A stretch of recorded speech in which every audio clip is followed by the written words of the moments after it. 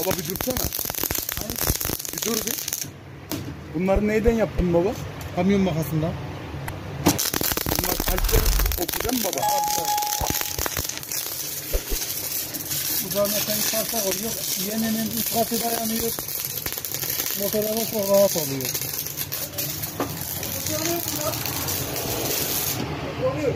Tamam. Zaten biri.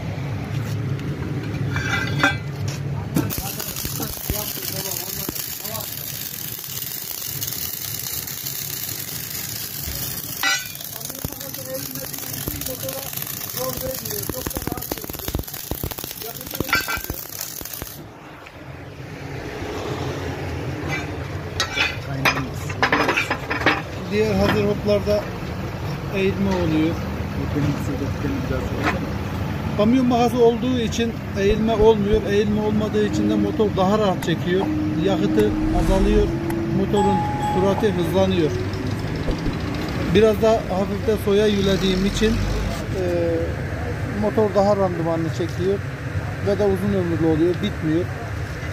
Büyük köklü taşa geldiği zaman kırılma olabilir ama onun haricinde çabuk aşınmaz. Motora da çok rahat verir. Tamam.